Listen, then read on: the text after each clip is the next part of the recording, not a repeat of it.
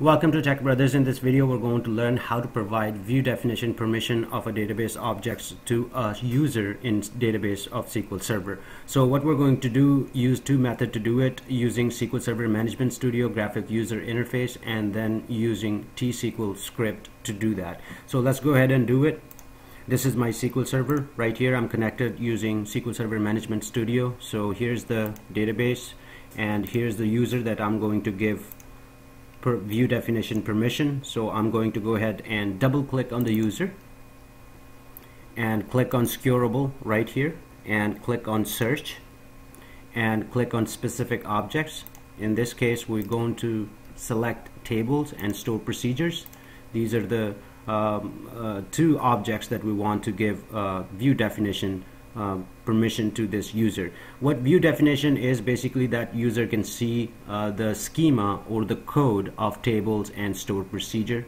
So we're going to go ahead and click OK and click browse. This will give us all the tables and the stored procedures. So we're going to go ahead and select customer and customer 2 and after that we're going to go ahead and select one stored procedure user defined stored procedure which is right here.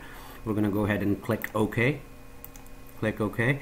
And then these are the tables. So table have different permissions than stored procedures so we're gonna select the table and give select permission right here.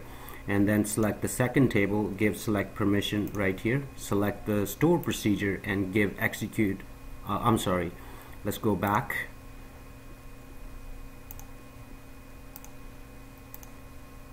in this particular demo we're going to give view definition permission. So click on the uh, table and go all the way down. We see that view definition permission right here. Click on that. Click on grant. And then again this uh, second table view definition. And then store procedure. Right here is view definition for store procedure. So we're gonna go ahead and click on view definition and click OK and this store if, if you double click on this user you can see that uh, these two tables and a store procedure is added and all these two tables have view definition. Now this user can go ahead and look at the code uh, or definition of these tables and store procedure. So this is using uh, graphic user interface. So what we're gonna do is take the permission out and use our SQL script to do the same thing. So we're gonna go ahead and remove this user now because we're going to do the same thing using T-SQL script. So I'm gonna go ahead and load my T-SQL script. Right here is my T-SQL script.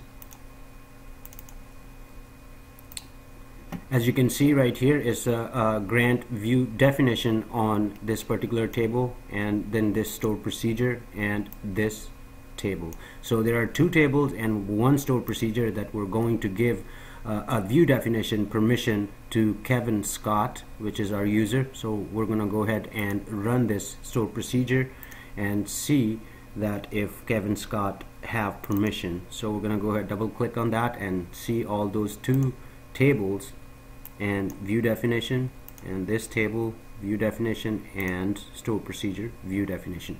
So this is basically how you uh, give permission to any user uh, definition uh, view definition permission of any object in the database in SQL Server and I hope this video helps.